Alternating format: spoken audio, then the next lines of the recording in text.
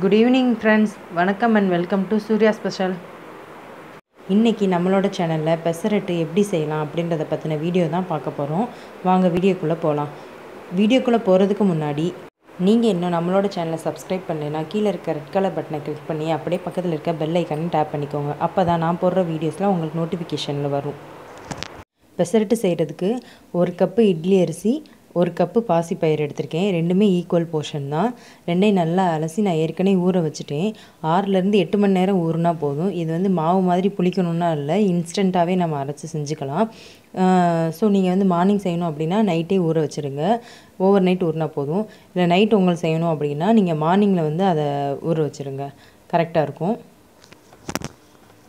பெசரட்டு செய்கிறதுக்கு மாவு ரெடி பண்ணிடலாம். அதுக்கு ஒரு மிக்சி ஜாரில் வந்து ரெண்டு ஸ்பூன் அளவுக்கு சீரகம் ஒரு சின்ன துண்டளவுக்கு தேங்காய்ச்சில் ரெண்டே ரெண்டு வரமிளகா இதெல்லாம் ஆட் பண்ணிவிட்டு நம்ம ஊற வச்சுருக்க அரிசியையும் அந்த பாசிப்பயிரையும் ஒன்றா போட்டுடலாம் அந்த தண்ணியை வந்து தனியாக ஃபில்டர் பண்ணி வச்சுக்கலாம். அதை ஊற்றி தான் நம்ம மாவு அரைக்க போகிறோம் அதோடு சேர்த்து கொஞ்சோண்டு பெருங்காயம் மாவுக்கு தேவையான அளவுக்கு உப்பு போட்டுக்கோங்க.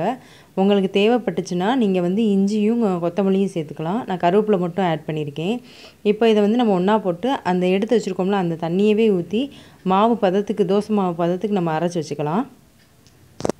இப்போ மாவு ரெடி ஆயிடுச்சு. கொஞ்சம் குறை குறைன்னு இந்த மாதிரி அரைச்சிக்கோங்க. தோசை மாவு பதத்துக்கு தனியாகவே எடுத்துக்கோங்க. இது வந்து நம்ம இட்லி தோசை மாவு மாதிரி புளிக்கணும்னா இல்லை டேரெக்டாகவே ஊற்றிடலாம் இப்போ அடுப்பில் தோசைக்கல் வச்சாச்சு. கல் சூடானோடனே ஒரு ரெண்டு கரண்டி மாவு ஊற்றி தோசை மாவு மாதிரி ஊற்றி எடுத்துக்கலாம். இப்போ நீங்கள் தேவைப்பட்டுனா இதுக்கு மேலே வந்து நம்ம பொடி தோசை மாதிரியே இட்லி பொடிலாம் கூட தூவி விட்டுக்கலாம். இப்போ இதுக்கு வந்து கார சட்னி தக்காளி சட்னி வெங்காய சட்னி இந்த மாதிரி நல்லா காரமான சட்னி தான் சைடிஷாக இருந்தால் நல்லாயிருக்கும். இந்த பெசரட்டை வந்து நீங்களும் உங்களோட வீட்டில் ட்ரை பண்ணி பாருங்கள் உங்களோட கமெண்ட்ஸை வந்து எனக்கு கீழே கமெண்ட் செக்ஷனில் சொல்லுங்கள் லைக் பண்ணுங்கள் அப்படியே மறக்காமல் உங்களோட ஃப்ரெண்ட்ஸ் எல்லாருக்குமே இந்த வீடியோவை ஷேர் பண்ணுங்கள் வீடியோவை பொறுமையாக பார்த்த எல்லாருக்குமே ரொம்ப நன்றி. மீண்டும் மற்றொரு பதிவில் உங்கள் எல்லாரையும் சந்திக்கிறேன்.